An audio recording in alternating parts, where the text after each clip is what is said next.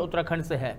उत्तराखंड राज्य स्थापना दिवस के मौके पर आज मुख्यमंत्री पुष्कर सिंह धामी ने प्रदेशवासियों को शुभकामना दी है। मुख्यमंत्री ने राज्य गठन के लिए अपने प्राणों की आहुति देने वाले आंदोलनकारियों को नमन किया।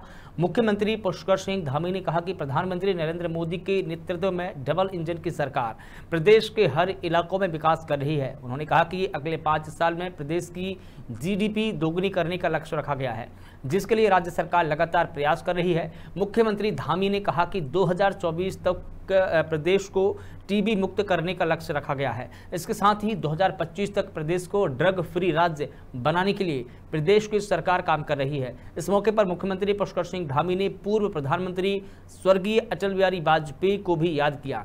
मुख्यमंत्री ने कहा कि अटल बिहारी वाजपेयी ने उत्तराखंड दिया और आज प्रधानमंत्री नरेंद्र मोदी के नेतृत्व में प्रदेश संवर रहा है।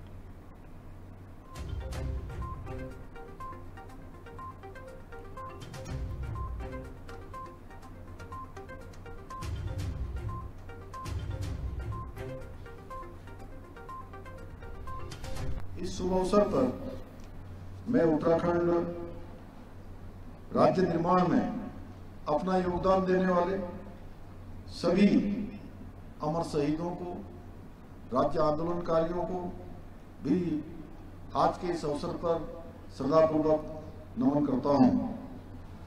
भारत माता की रक्षा के लिए, हम सबके रक्षा के लिए अपना सर्वोच्च बलिदान देने वाले उत्तराखंड के वीर जवानों को भी, आप सबकी तरफ़ से, देवभूमि उत्तराखंड की जनता की ओर से, मैं उनको भी आज इस दिवस पर श्रद्धांजलि अर्पित करता हूँ।